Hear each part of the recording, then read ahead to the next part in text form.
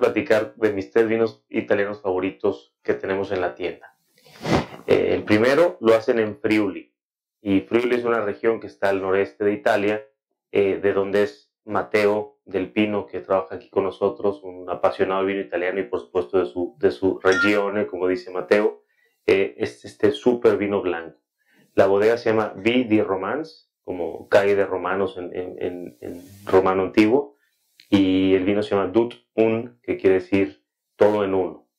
Es un vino blanco impresionante eh, que mezcla eh, Sauvignon Blanc, eh, Frulano, Chardonnay.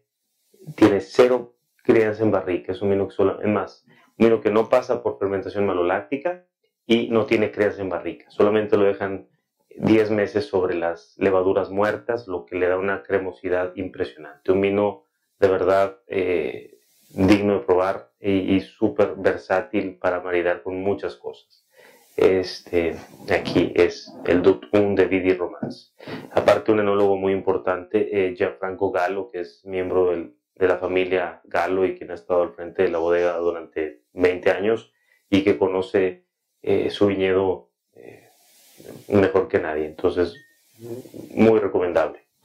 Y luego este, Casanova di Neri, es un Brunello di Montalcino de la región de Toscana Central, eh, del pueblo de Montalcino. Este vino se hace con uvas Sangiovese este, y que tiene de, además de que es un súper eh, Brunello, pues fue en el, esta es la cosecha 2007, la 2001 fue eh, vino del año por la revista Wine Spectator y es clásico Brunello con mucha cereza, mucho tabaco, cuero, eh, poquito de, notas como de espresso y de gran intensidad en boca y de mucha elegancia. Un vino para, para de esos vinos de, de probar solos y estar con un pedazo de queso pensando, analizándolo, disfrutándolo durante mucho tiempo. Obviamente muy maridable con platillos intensos.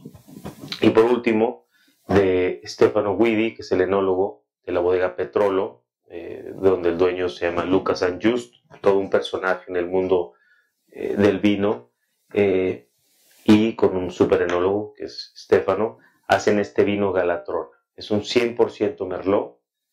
Hay varios 100% Merlots muy interesantes en, Toscana, como Maceto, como la Parita de Castello di Ama, como el Mesorio y como Galatrona. Quizás son los cuatro más importantes macetos.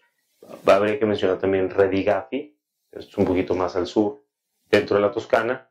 Y bueno, eh, aquí tenemos a un super merlot del mundo, eh, comparable quizá con los grandes merlots como, como Petrus, este, como Palmeyer y Paloma, estos de, California, eh, intenso vino muy estructurado con demasiada fruta negra, fruta roja, este, y en boca muscular, estructurado, pero también con, con una frescura que le da eh, la toscana muy interesante. Entonces, estos tres vinos son mi selección top de italianos en The Little Wine Market. Ojalá que vengan a, a conocerlos. Hasta pronto.